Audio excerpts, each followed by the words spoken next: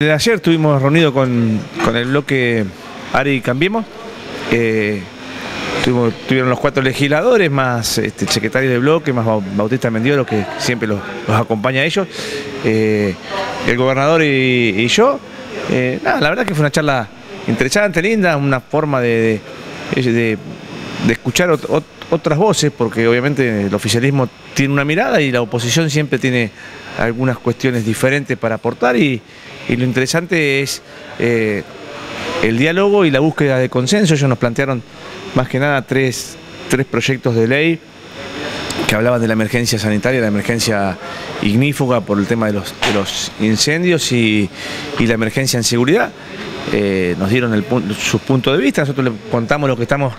este, haciendo, trabajando desde el Poder Ejecutivo para, para resolver estos, tres temas. Eh, prioridad del gobierno, desde que asumió Alberto, lo planteó y lo dijo, eh, los recursos son pocos, pero los vamos a, priorizar, más que nada en poner, volver a poner en funcionamiento el sistema de salud público, los hospitales, y luego el tema de seguridad, así que en eso, en eso estamos. Yo me parece que, que por eso nosotros ayer resaltábamos la- el diálogo con, con los bloques de la oposición, me parece que primero que ya la- campaña terminó. Eh, ahora es momento de gobernar, ya, ya el presidente es presidente de todos los argentinos, no de un sector, con lo cual tiene que empezar a gobernar y a, y a- y a generar políticas que abarquen a todos. Eh, después me parece que es una gran mentira cuando se plantea que el 56% respaldó, el 56% fue en una doble vuelta. El- la, realidad del- del- resultado que conforman las instituciones de, una república, que son la división de los poderes y la, Cámara de Diputados y Senadores, fue el resultado de octubre, donde el presidente obtiene el 30 y algo por ciento, que es lo que tiene representado en la Cámara. Entonces, cuando uno tiene, eh, no tiene las mayorías suficientes en la Cámara, lo que tiene que lograr es consenso, y los consensos se buscan a través del diálogo, y cuando uno busca consenso tiene que tener eh, ceder o conceder algunas algunas algunas eh, cuestiones específicas y lo que no se puede lograr nunca es ir a buscar el consenso a partir de la violencia, de la violencia verbal.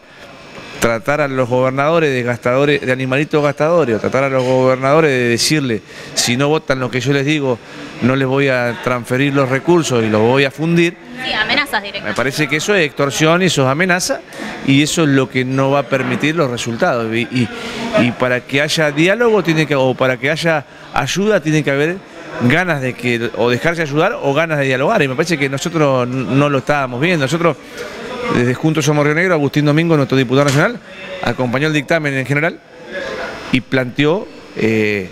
algunas miradas propias que tenemos nosotros, específicas, que nos afectarían a, la Río Negro, que dijimos que esos temas no lo íbamos a acompañar, salvo que o se quitaran en algunas cuestiones porque no había chance de modificar o que se modificaran. Eh, la idea no es entorpecer, no es ponernos enfrente del gobierno, sino que la idea es que se nos respete también a nosotros. Así que me parece que, que por eso yo no sé si era tan tan este eh, sorpresa lo de ayer. Yo, me parece que era el, el final que se venía que se venía viendo y me parece que el planteo hoy querer decir las provincias o los gobernadores no nos permiten generar el, el proyecto de gobierno que queremos o la casta me parece que, que en realidad lo que quieren hacer de esa forma es tapar sus propias falencias de la falta de política y la falta de ganas de dialogar.